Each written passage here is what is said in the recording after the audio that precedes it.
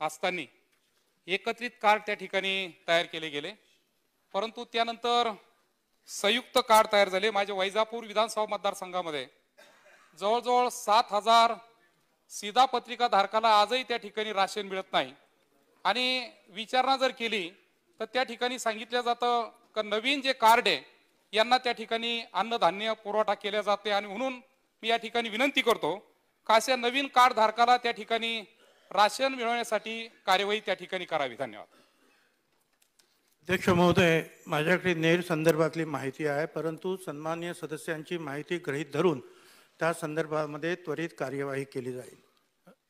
अध्यक्ष महोदय सन्मान्य मंत्री महोदयांनी वन नेशन वन कार्डच्या संदर्भात सांगितलं पण आपण मागच्या काळामध्ये असा प्रयत्न सुरू केला होता की विशेषतः स्थलांतरित होणारे जे मजूर आहेत यांना प्राधान्याने पोर्टिंगचं कार्ड आपण द्यायचं कारण ऊसतोड कामगार असतील आदिवासी असतील जे स्थलांतरित होतात आणि त्याच्या संदर्भातली संपूर्ण कारवाई पूर्ण करून ते जिथे स्थलांतरित होतात तिथेही त्यांना रेशनचं धान्य मिळालं पाहिजे अशा प्रकारचा उपक्रम हाती घेतला होता. तो उपक्रम आता कुठपर्यंत पोहोचलाय किंवा त्या संदर्भात राज्य शासन किती दिवसात कारवाई करणार आहे? विशेषतः यवतमाळ जिल्ह्याचा प्रश्न आपल्याला माहिती आहे.